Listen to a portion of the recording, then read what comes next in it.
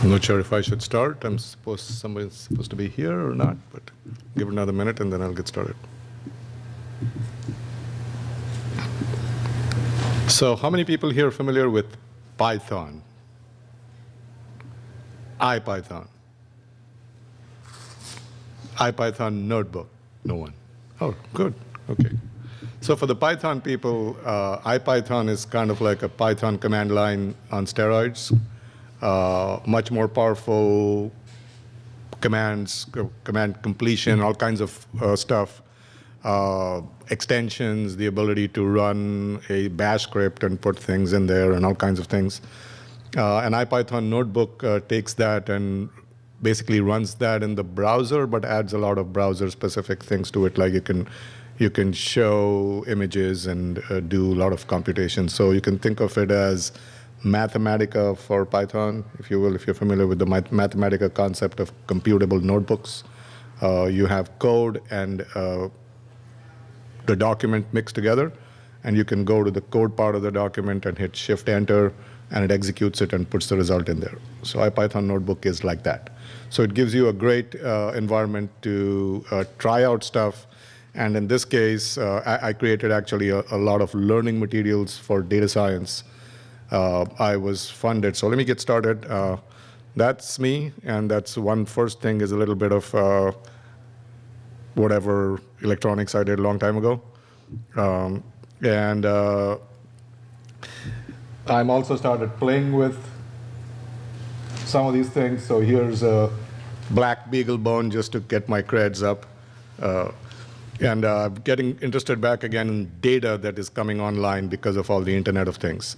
Uh, so there's a vast amount of data. People are, uh, in most of these uh, talks, talking about uh, the electronics, about the sensors, and how to interpret things. But when you have a vast amount of similar pieces of information coming in, you've got to do some pattern recognition, you've got to do some analysis, you've got to do some trend uh, analysis.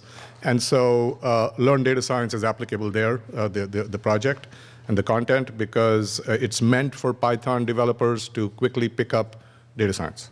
So that's about the about data science in general. That's what I saw over the last three or four years. Uh, there are three things people need to become really active in data science is you, sh you should be able to get in and use a script language, uh, Python if you're a developer, or if you're coming from the statistics background, either of them will get you started. Uh, you need a non-trivial amount of data experience. Uh, typically, that's uh, if you're a web developer or a developer, you've used MySQL, you know what a CSV file is, that's enough to get started.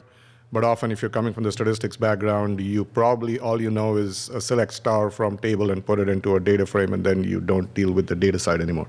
If you want to do data science, you've got to be able to do uh, interact with many different kinds of data sources. And uh, a lot of us who came from a technical background and then started developing let our math skills kind of generally uh, exponentially decay. So same thing happened to me. So I wanted to get back in, and over the last three or four years, I bought a stack of textbooks and got back in there with the goal of saying that if I can get back in, then I can create learning materials to teach other people to get back in. And I was funded by Pivotal. Uh, they were at that time EMC Greenplum and their interest is that they have a data science uh, business. Uh, it's in their interest to make data science more, uh, more, more, developers data science aware. So they funded me from a, for a year to write this material. And uh, so there's uh, one basic set of four algorithms there. Uh, it's not the final thing. I want to be able to do another stint on doing that and add some more. Uh, essentially, I based what algorithms to pick out of a paper that said top 10, uh, top 10 algorithms in data mining. And the people asked all the practitioners in data mining what their favorite algorithms were. And then they, they did all that, and then they gave a list of 10 of them. So I started, and I also asked the people in the data science team at Greenplum, what do your customers use mostly? And so they told me a few things, and plus I uh, added a couple of my own.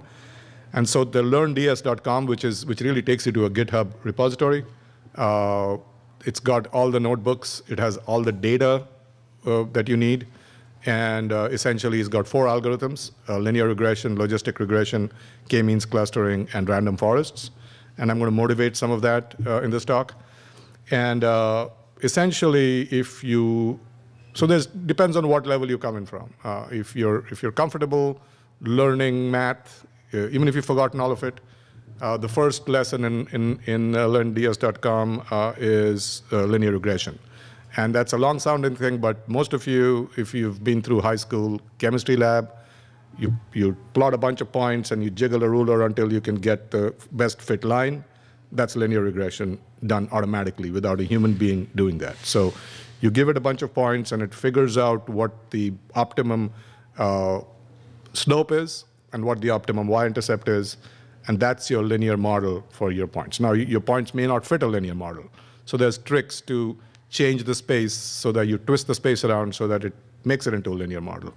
And then, but first you got to learn the basics of linear regression. And then uh, the next step is logistic regression, which is essentially thresholds. You have, you have data that looks like it's two-level data, and you want to find uh, the next data point that comes along. Is it at the high level or is it low level? And logistic regression helps you do that, assuming you've got a nice uh, sort of uh, logistic curve or something similar. And often data science or, or, or, things like this are about trying out different things. There's an exploratory phase when you're given a bunch of data to find out what fits best.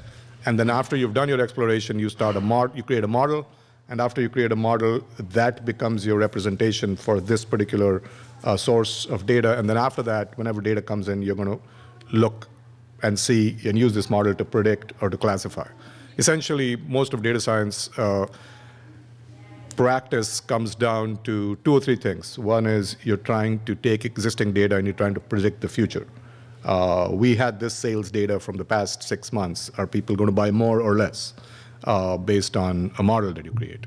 Um, how do I predict uh, whether uh, people are going to buy, whether, whether people are going to uh, move around, how, what are the population trends, that's a whole other way of uh, looking at things.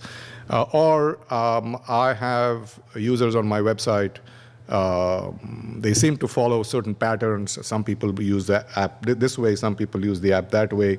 How do I cluster them? How do I serve them? How do I make sure that the features are enough that uh, most active users, et cetera? So that's, that's clustering and classification. So essentially, those, those are the two large areas, and I'm, I'm simplifying considerably for a one-hour talk, but uh, in a large, largely, uh, you're trying to take existing data and predict the future, or take existing data and classify it into patterns so the next piece of data that comes in, say it looks like this, or this, or this. And so that's largely what you're trying to do. So we're going to take one specific uh, example that I have there, and it's in one of my later uh, uh, lessons. Uh, I'm going to jump straight into it after introducing you to the lesson set. Uh, but uh, please, if you're going to take this and, and, you're actually going to use it, start from the beginning and work through it because there are a number of methodology things that I keep adding. If you're familiar with both IPython notebook and math and you just want to get into it, then go straight for it. But it's not advisable to jump straight into the third lesson, which is this what it is. And if you want to do this, uh, typically one weekend for each set of each algorithm and four weekends. It's built for that. It's like if you take an immersion, uh, if, if you're familiar with Python, IPython, and, and Notebook, then it'll be easier for you. Otherwise, you'll have to spend a day or two just getting familiar with the metaphor. But the goal is, uh, you know, as people who are working in the field, we don't have time to go take a lesson, or we don't have time to take a class, so we should have things that allow us to get exploring quickly. And once, you once you get exploring and once you do things useful, uh, then you get interested enough and motivated enough. But this is to get you jump started. That's why we're here. So we're going to take this Android phone data set. And essentially what it is, is it's, uh, it's a bunch of accelerometer and gyroscope readings from an Android phone that was taken by an Italian uh, university. Uh, they attach these phones to people and then they uh, figured out or asked them at different times of the day what they were doing. I think they actually followed them around, I don't know. But uh, they had six different uh, activities, uh, standing, sitting, lying down, walking, walking up, and walking down. And they, they took this for about 25, 30 people. And what we're going to do is to learn, if we take, say, 20 of them, and we build a model, how good is it to try and predict the other 10, which we have held out? And this methodology uh, where you hold out a certain part of your data set when you're modeling. is an important thing because you don't want to create a model that only fits your complete data, and then the next thing that comes along causes it to break. Sometimes your model can be overfitted to your data. So the way you test that is you leave some data out, you only create a model for a part of your data, and then the data that you left out, you try to predict.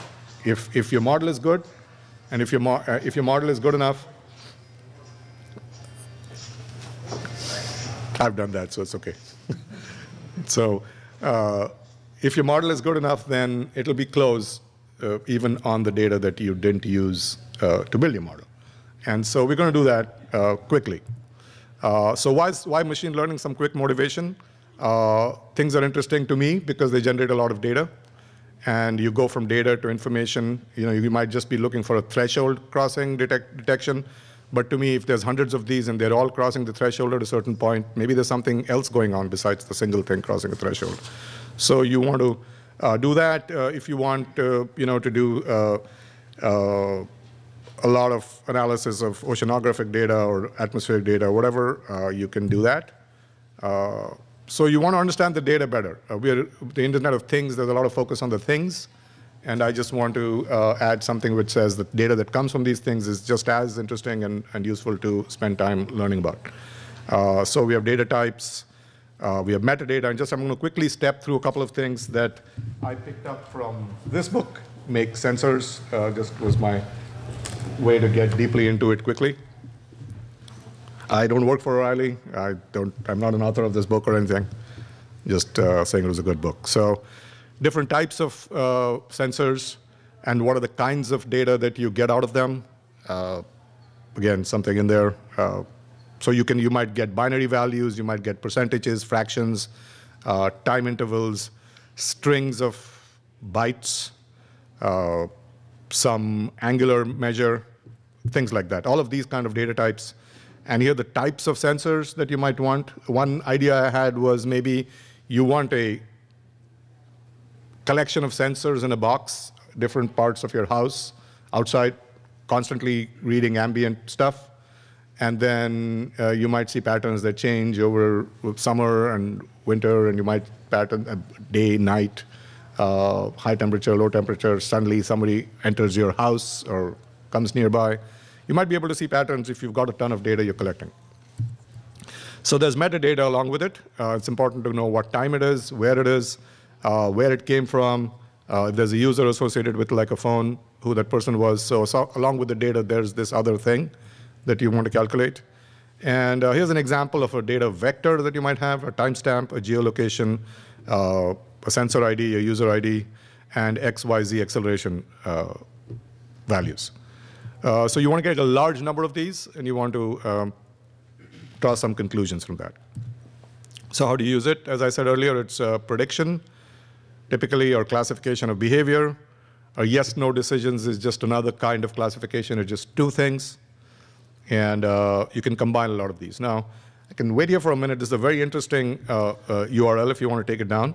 Uh, this is a guy who uh, took a, a, machine, one of the first machine learning classes that was offered on Coursera, and he used uh, neural networks to go and guide a, a RC-controlled car over a stripe on the uh, uh, on the carpet, and uh, he attached an Android phone, and it was taking snapshots of the area around, a few milliseconds, and was sending it to a laptop, which was running a neural network and it was sending control information back. It was a fascinating thing, and it's the, the video is still on there. So uh, you can use machine learning uh, along with uh, radio control devices, uh, sensors to do fun things, fascinating things, or you know, that will probably grow into something much more useful later. So uh, playing around with that, if you know a little bit of machine learning, you can do a lot. So what do I need? Some machine learning tools and some training. Um, typically, these are the algorithms that we're going to talk about a little bit. And uh, I'm going to give you an uh, example. With, I'll talk about the data source, and I'll actually walk through the, the notebooks first uh, by talking a little bit about uh, the set of lessons, and then actually diving deep into the random forest example. So I, I mentioned this earlier. Uh, the key thing here was that the, the amount of data there uh, was a massive amount of very dirty data. There was like a 530 or so dimensions to the data. A lot of it were redundant. Some of it was Fourier transforms of other things. Uh, some of it was uh, what time domain, frequency domain, um, and then some of it was just double measurements. It was just very badly done data set. And, and the, the column names had things like function name, parentheses in them. So it's a classic example of real world data you'll pick up. And a lot of uh, work you will do is to clean up that data to make it useful to a machine learning algorithm. So uh, the lessons that I have actually talk about data cleanup as an important part of uh, data science. And there's a joke there uh, in, in, data science that you'll hear uh, saying that you spend 80% of your time cleaning up the data and 20% of the time complaining about the fact that you had to clean up the data. So essentially, data cleanup is a lot. The rest of it is getting more and more automated. And, and increasingly, uh, there's a professor at uh, UC Berkeley, uh, Joe Hellerstein, who's called this the industrial age of data because uh, previously human beings used to produce data and human beings used to consume and process data. Uh, then uh, human beings started producing data and machines started processing it. But now with the Internet of Things, machines are producing data and other machines will be processing that data. And this is the beginning of the industrial age of data, where uh, data pipelines are going from machine to machine to machine, and finally we're producing either, a, uh, either an outcome in terms of a, a, motor action or some result on a dashboard or something. But there are large pipelines where machines produce and consume data, intermediate steps where human beings uh, don't, uh, uh, are not involved. And so uh, we will talk about this uh, a little later, random forests. I'm going to get that into detail. It's, it's, it's, it's one of the algorithms that are available. If you spend any time on Kaggle, which is a place where data scientists compete with each other to try and solve problems, some of them have uh, money attached to them, some of them uh, but they, they, it's a great place to actually hone your skills because uh, it's a great community. It has a bunch of tools that people provide, uh, and it's, it's very Python friendly. Most of the tools available are Python. And uh, random forests is very, are very popular in Kaggle. That's why I mentioned Kaggle in this, in this case. And essentially, uh, when you're uh, analyzing massive amounts of dirty data, one of the big things that you have to do that I, that I did not add here, but I should, is uh, you have a large number of variables, and one of the things you want to find out out of these hundreds of variables are which are the top 20 or 30 important variables.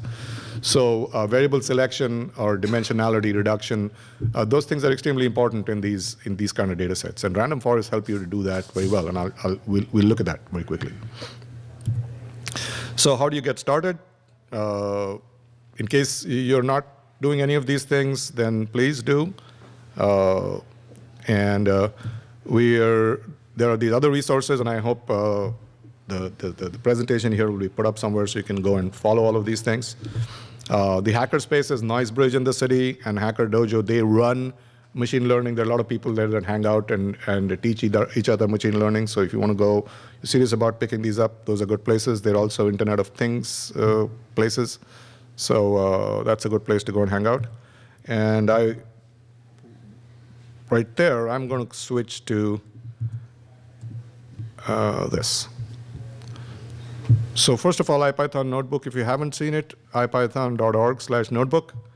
That's an example of something, let me see, yeah.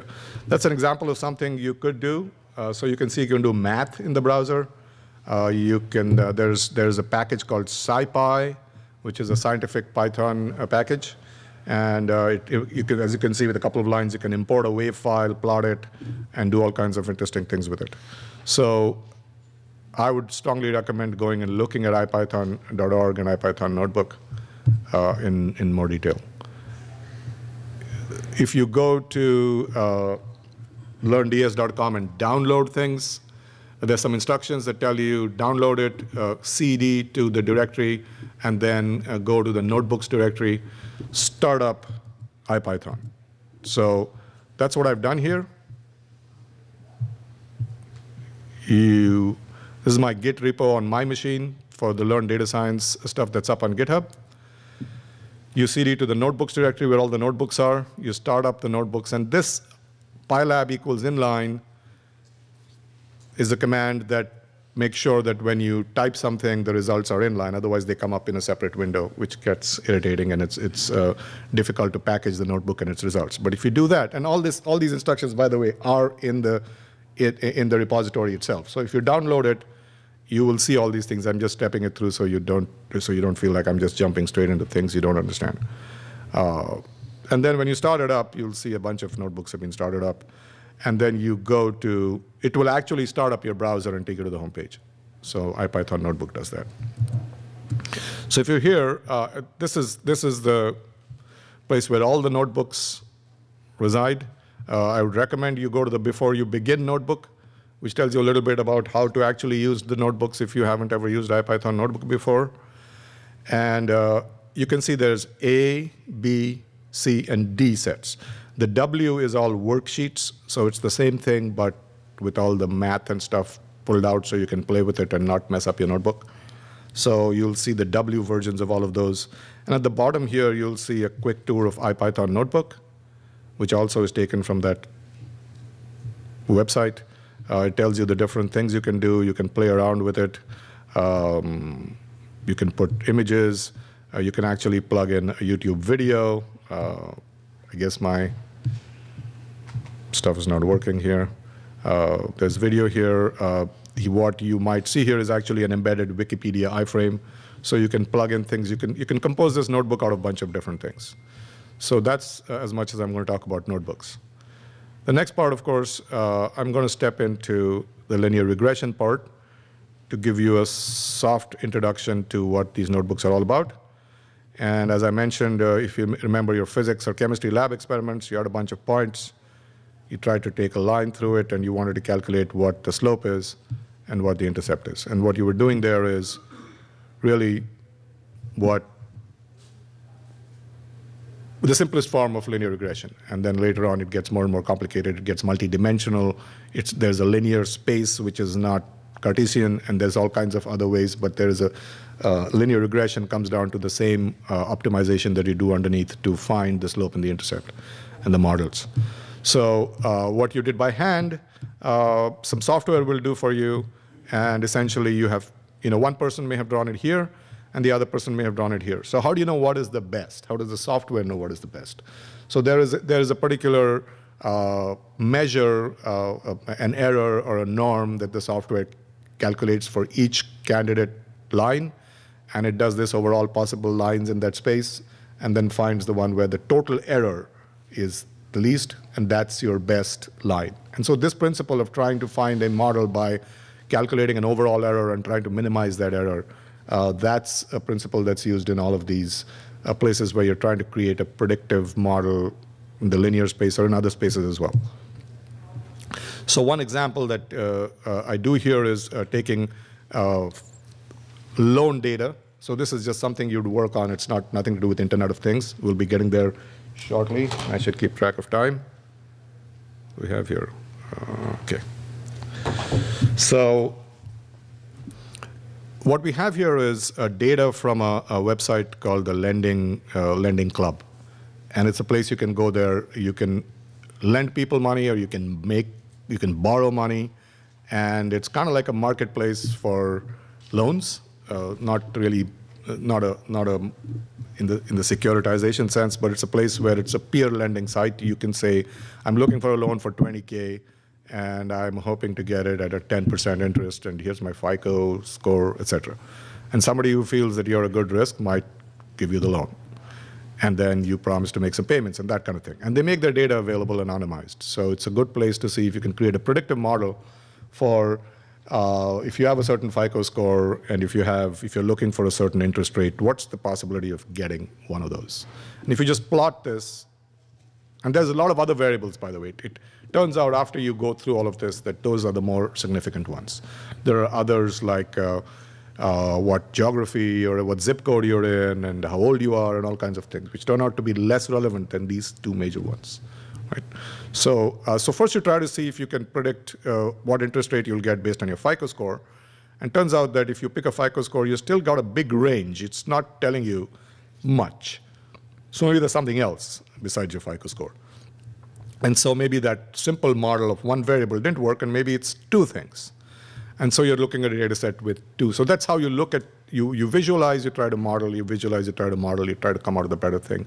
So that's how you get up.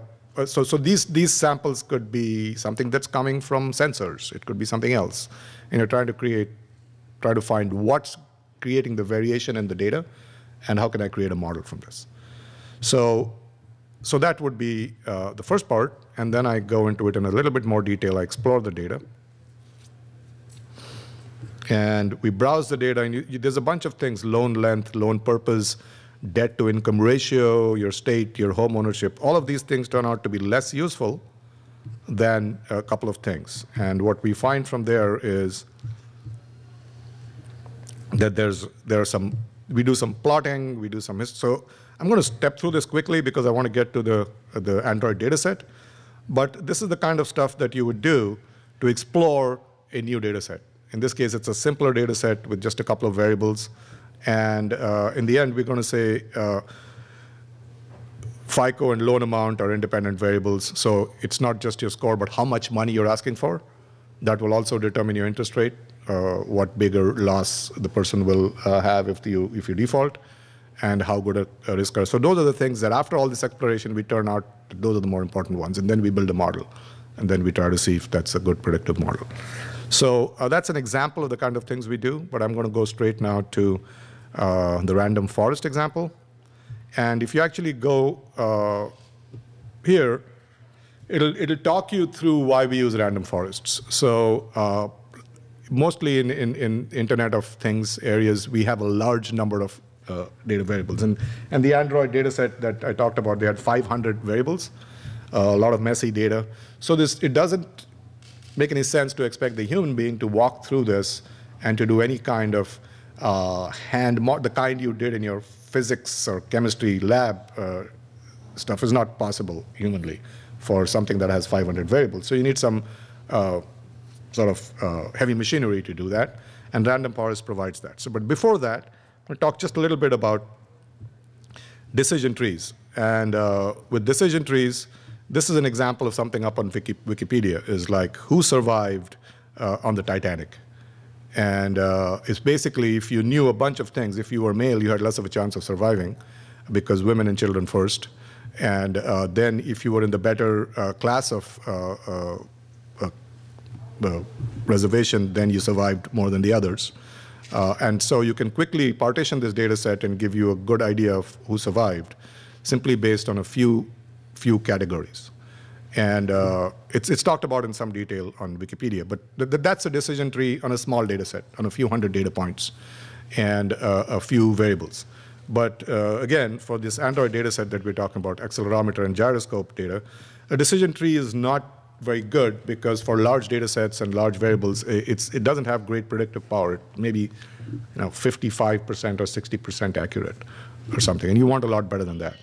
And so you know, people who, who do this for a living uh, have come up with uh, ensemble methods, which is you take a bunch of different uh, approaches. In this case, you take a bunch of different decision trees together, and you randomly take subsets of your data and, and give, it, give it to a decision tree, and then ask it to create a model. And then you combine these models together, uh, all through uh, some programs and packages that are available both in R and Python.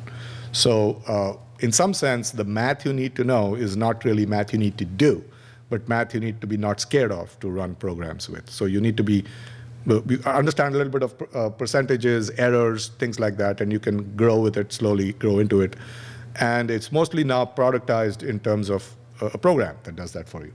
So again, the goal of this lesson is to make it simpler to reduce the barrier for programmers to pick up uh, machine learning. And so uh, if you want to look into the math behind it, then these are the keywords you want to go and do some research on. But I'm going to jump straight into uh, how do you actually use this. So uh, we do some data exploration, and that will tell you the big mess that you have. So this is, this is the messy data we had. We had duplicate column names sometimes. We had parentheses in column names.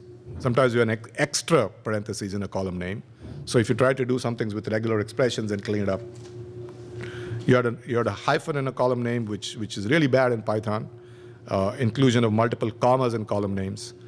And many column names have you know, badly written English even. So when you actually want to use this, uh, this is a data set that comes with the Git repo that you'll download. It has the Samsung data in it in a large CSV file. You'll import it, uh, and then uh, we change the activity to be a categorical variable, which is a variable that says uh, this is not a number, it's one out of four or five categories. And you want to predict that. Uh, you want to keep the subject, meaning the person, as an integer. That's the, that's the one out of 30 people or so we had. And other than that, we want to figure out how to do this. So I did this in two ways, actually. The first time I actually opened up the uh, Android uh, uh, manual for accelerometer and gyroscopes and understood how it works, and then figured out if you're sitting, standing, what do we think from pure physics, what would be the important variables, and then I went and hand-picked about 30 variables out of all of those. And I renamed them by hand, and then I created a model. And then later on, I just fed the whole mess to a random forest. I, basically, I just took 500 variables and renamed them X1 through X500. Now, the difference between the two is, and this is, a, this is something you'll find in data science all the time, uh, do I need to know anything about my data set? Do I need to have domain knowledge? And does domain knowledge help in analyzing data? As opposed to, can I just bring a high-powered algorithm and will it tell me everything? Ideally, a good balance of both is useful, but it's surprising how much is, can be done with random forests just to reduce the number of variables, and then you can use your domain knowledge. It's very hard to use domain knowledge when you have 500 variables. It's very hard. The brain doesn't do good stuff with that many variables at one time. But you bring it down a little more, and then our pattern processing and the machines can be uh, uh, balanced together. So, uh, so this is a question. I first did it purely with domain knowledge. And then I did it purely in the black box approach. It's called the black box approach. You'll, you'll get a model, but you won't know what the variables mean. And uh, you won't understand what happens if one of those variables changes. You really won't have a deep understanding of the model. So black boxes approaches are great if you go to Kaggle and you've got to come up with a model within 24 hours and you've got to win the competition. But if you've got to actually operationalize that model, and if you've got to put it into practice, and you've got to come back and feed it data, and you're responsible for the output of that model, uh, having a, a, better understanding of what the underlying data is and the domain is critical. Otherwise, you'll fail uh, eventually. Uh, no machine can predict everything for the future, and the human being needs to balance that. So uh, what I did here was I said, you know, in static activities, uh, motion information is not going to be that useful. In the dynamic activities, motion will be significant. And this is just me heuristically figuring out all this stuff. And then an example of things I did was I, I actually uh, plotted some of them with some colors. And uh, these are the different colors for the different classes of activities. And this is an, one of the variables, which is the body acceleration magnitude, the magnitude of acceleration of the body. Uh, and it's uh, how much or amplitude of how, many of these uh, data sets had that. And so you can see that uh, you know the, the, the bluer variables, which are walking, walking down, and walking up, were clustered together, and the more static ones, uh, li lying down, sitting, and standing, were over here, where they didn't have. It's almost the acceleration is almost nothing, uh, and here it's a large spread uh, relative spread of the acceleration. And so this is the kind of thing I did by just manually exploring stuff. It was tedious, it was interesting, very interesting, but very tedious. Took days to figure it out. And then I got down to a, a set of, and then I had to change these things by hand and cut out all the crap in the name and then bring it down to something. And so I reduced it down to this set. And then uh, I'll take you to the next step.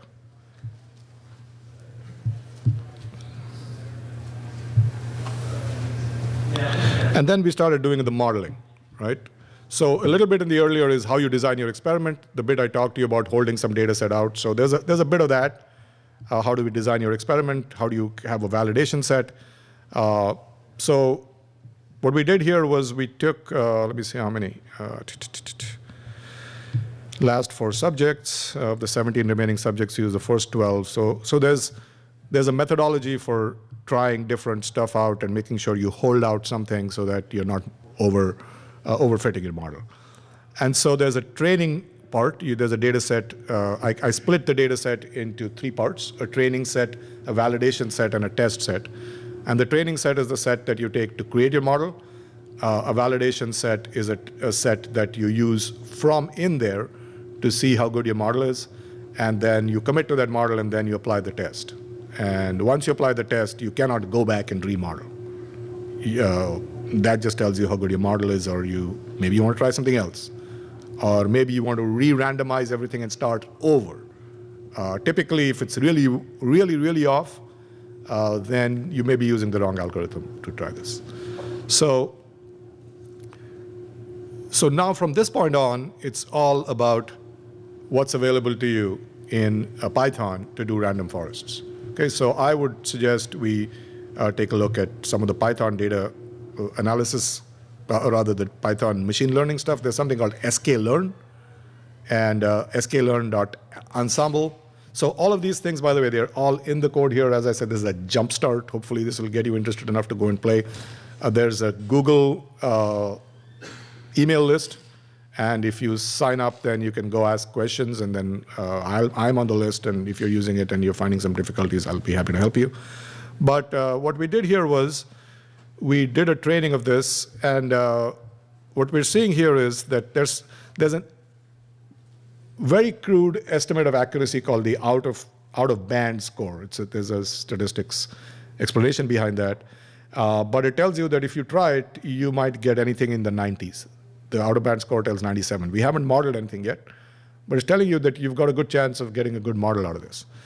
And then uh, what I do here is to say, uh, give me the top 10 variables. So this is the important part, even if you don't use random variables for your model, if you use random variables to just do dimensionality reduction and pick up the top 10 variables, that's what it came out with. It said that uh, in terms of how much uh, variance in the data, meaning how many different values uh, this, va this particular dimension is capturing, uh, if you look at these numbers, it'll tell you the, the x angle to gravity is a big one.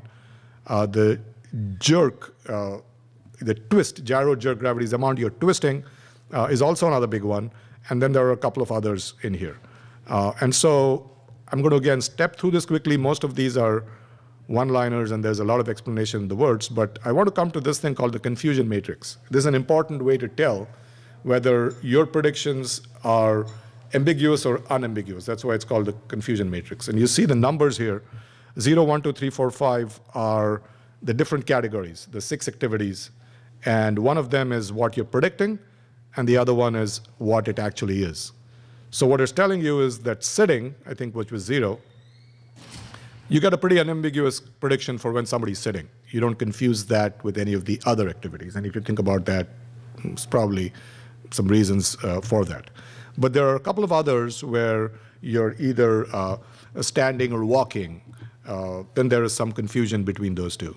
Uh, and whether you're going uh, walking up or walking down, maybe there's some other confusion between those two. So how how accurate those are in terms of how many times you hit the right bucket and not.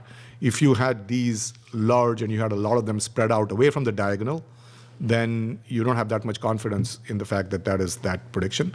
Uh, if, if you only have colors on the diagonal, then you have more uh, uh, confidence in the fact that your classification is good. And then there are some numerical estimates. Uh, there's uh, accuracy and precision, and these have the same meaning as they have in, you know, uh, when people are looking up or doing search and other things. Uh, so it's, you're doing about 90%, which is pretty good for something that was done, mm, you know, by hand mostly, and to run uh, some of these things. Uh, and uh, so it's about 90%, and the out of uh, band error estimate is about 2%. So again, going rapidly through a number of these things. If you're interested, you should work through the previous lessons. And then I'm going to go and show you what happened when I did it uh, in automated fashion. So that would be the last thing I do here. Uh, this random forests data cleanup, I think is what it was. So here, uh, instead of doing things by hand, I just went and uh, uh, called it x1 through xn, and I just threw it at the uh, algorithm. And what I got was, here are your variables. I don't know what they are, right? But it's telling me that these are your top 10 important variables. And this is the difference, is in the previous one I could interpret the meaning of those variables because it said jerk, gravity, or magnitude, or whatever. And here it's just, one of those dimensions. Okay. Uh, and then when I do the similar thing, I get roughly similar looking. And when I do a number, I get I got 0.89 by hand and 0.91 by this. And uh, so, as a first pass, you could do this. You could look at the, those variables. I mean, you don't see it here, but there was a mapping, so you could work backwards and say, okay, that was actually an acceleration. That was actually some gravity, something or the other. But in the long term, uh, if you have a very large data set that's very messy, uh, the random forest approach to reducing the number of variables is extremely useful. So especially if you're taking data from phones that has all of these things, uh, please take a look at this. Uh, please use it, uh, and uh, please give me feedback. I'll be writing more of this stuff. And uh, for the rest of the time that I have, uh, questions or, yeah, Yeah, I have a question about Yeah. your, um, the data Yeah. that you were using. yes. Uh, Was it temporal data you're getting or a a statistic on the, on like the sensor data? Uh, you, the readings that, the readings that I had had, uh, they appeared to be sensor data that had also been transformed in some way because it had some T, some things prefixed by T and others prefixed by F. So maybe there was a Fourier transformation applied to something. So there were some frequency readings and T readings. I don't know if the Android uh, gyroscope gives you frequency readings, so maybe it was raw data.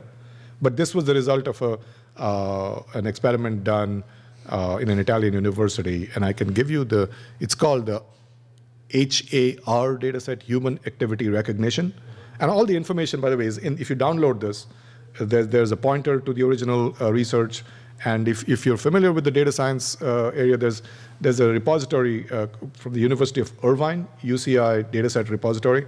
So this dataset is there with details of the experiment. And so you can see actually what the uh, raw data was.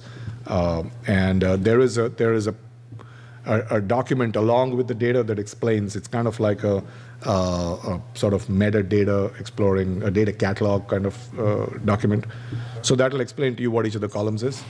Uh, but uh, it was a lot of raw data. Yeah, yeah, yeah. Sure. Other questions? Other? Okay, thank you.